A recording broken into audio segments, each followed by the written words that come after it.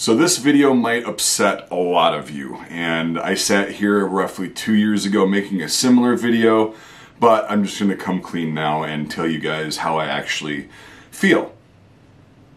Now, if you've made it this far without already angrily typing a hateful comment or whatever, congratulations, you are part of the I guess small minority now that doesn't just look at the headline in the first couple seconds or first couple words of an article and then gets absolutely enraged by it. So please refrain from commenting with anything positive on this video because this is going to be an experiment to prove my point that I made not so well a couple years ago um, and just to kind of express my disdain and my, my, my um, uh, frustration with how clickbaity society has become and how people just don't like take a step back and relax about anything. It's not just like this. I mean, obviously the title of this video is going to just immediately get the clicks and get people to be like, "What the fuck?"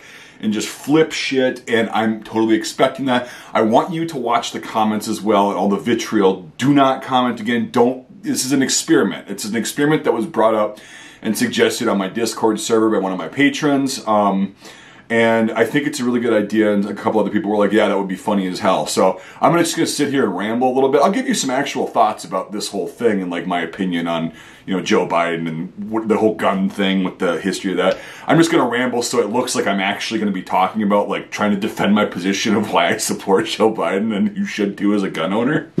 oh my god, I know. I hope you're enjoying a laugh with me. Um, once in a while, I kind of get, I kind of get you know pissed off at just the craziness that is the world, and especially with like online culture, and especially with other like YouTubers, right? I try to refrain from doing clickbaity shit, right? Um, I've done it a couple times as a joke to make fun of that and satirize that, and it doesn't work as well. But I'm not really one to like spread fear. It's a lot. It's a lot fucking harder to get people to fight together than it is to get them to fear together. It's a lot harder. It's really easy to get people to fear together, and that's what's going on nowadays.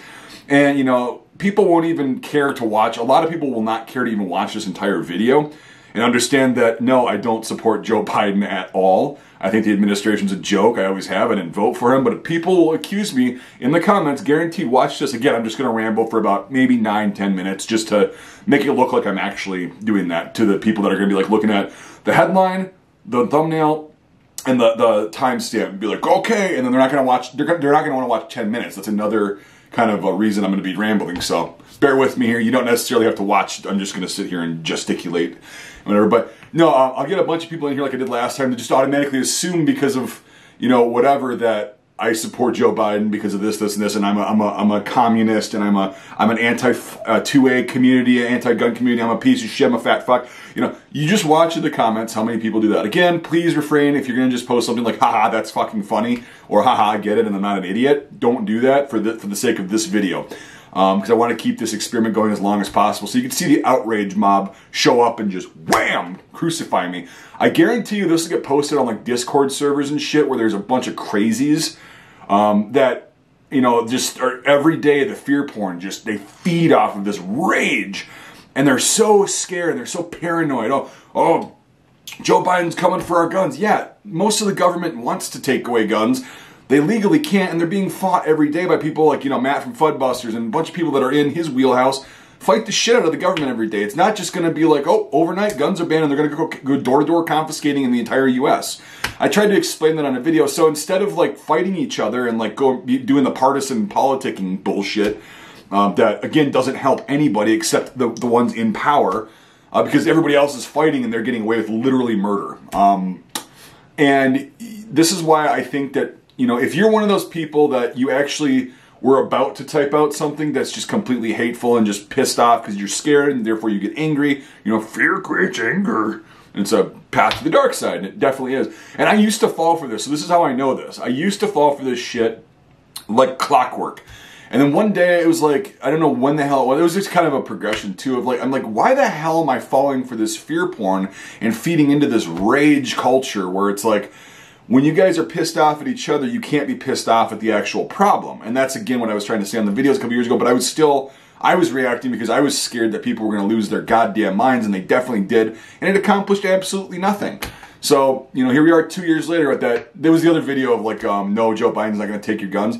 Literally has not, because people were saying they were going to go for 100% confiscation, no more AR 15s and all that shit. And while I know the Biden administration, the Trump administration, the Obama administration, and to an extent the Bush administration, and everybody basically, including your, your boy Ronald Reagan, all you boomer worshippers out there, or Reagan worshippers, he, Ronald Reagan did a lot against firearms. So you, it's not just, oh, Biden's going to take our guns, Obama, you know, and all the Republicans are on your side. No, no, no, no. Donald Trump's administration got a bunch of shit, you know, import restrictions and never cleared anything from previous administrations, blah, blah. So don't think that the partisan politic game, don't think anybody in politics is on your side. It's not Republicans good, Democrats bad, blah, blah, blah. They're all bad. And they none of them want you to have guns. And it's a pandering tool, right? So the right, or I'm sorry, the left will use um, abortion rights. Like, you know, everybody lost their mind with Roe v. Wade, right? And they didn't actually understand what the decision stated or what, what the results were going to be. They just automatically blanket statement at everybody that abortion is now illegal in the U.S. And there's so many people that believe that, just like there's so many people that, because the, the right uses the whole, they're going to take your guns. Every every fucking time a Democrat gets into power anywhere, or the they have the House and the Senate, And, or there's some uh, Supreme Court justices that are more left leaning and the court's not, you know, more conservative. The Republicans or the right in general, conservatives, will use that to whip people up into a goddamn frenzy and fighting each other because they're so terrified that their guns are going to get taken away. Um, it's it's really sad to me that people can't be more level headed and honestly work together instead of working against each other and just don't assume don't assume that somebody's your enemy just because they might have one or two different opinions than you and also try to fucking relax. Try to take a step back. If you see something that's titled like this if i saw something that was titled like this i'd be like oh boy this is going to be spicy in the comment section because you know. And i would encourage you if you're one of those people that start off writing a really shitty comment and then you're like oh okay it's not what i thought it was. Take a look at that and know that hey i've been there too and so have a lot of other people that are going to be like oh, this is this is a cool idea. Don't comment or form an opinion on something unless you've actually read through the bullshit.